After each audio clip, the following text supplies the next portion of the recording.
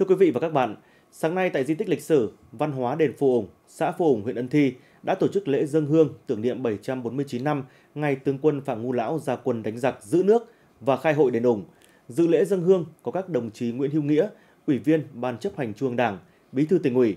Nguyễn Văn Hồi, Thứ trưởng Bộ Lao động, Thương binh và Xã hội, Trần Quốc Văn, Phó Bí thư tỉnh ủy, Chủ tịch Ủy ban Nhân dân tỉnh. Cùng dự lễ dân hương có các đồng chí trong Ban Thường vụ tỉnh ủy, lãnh đạo Ủy ban Nhân dân tỉnh, một số ban sở ngành, tổ chức chính trị xã hội tỉnh, các huyện, thành phố cùng đông đảo nhân dân và du khách thập phương. Tại lễ dân hương, các đại biểu và đông đảo nhân dân du khách thập phương đã cùng ôn lại lịch sử về thân thế sự nghiệp của tướng quân Phạm Ngũ Lão. Sau khi mất, ông được nhà vua phong là thượng đẳng phúc thần và được nhân dân làng Cụ Ủng lập đền thờ ngay trên nền nhà cũ của gia đình. Năm 1988, đền Phụ Ủng thờ tướng quân Phạm Ngũ Lão được công nhận là di tích lịch sử văn hóa cấp quốc gia. Hàng năm, lễ hội truyền thống đền Phụ Ủng được tổ chức trang trọng từ ngày 11 đến ngày 13 tháng Giêng, thu hút đông đảo nhân dân trong tỉnh và du khách thập phương là một trong những lễ hội lớn trong các hoạt động văn hóa, lễ hội mùa xuân của tỉnh ta.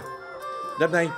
trong những ngày diễn ra lễ hội, sau các hoạt động tế lễ trang nghiêm truyền thống, còn có các trò chơi dân gian, hoạt động văn hóa thể thao của phần hội như cờ tướng, kéo co, hát quan họ, hội vật, thu hút đông đảo du khách đến xem và tham gia.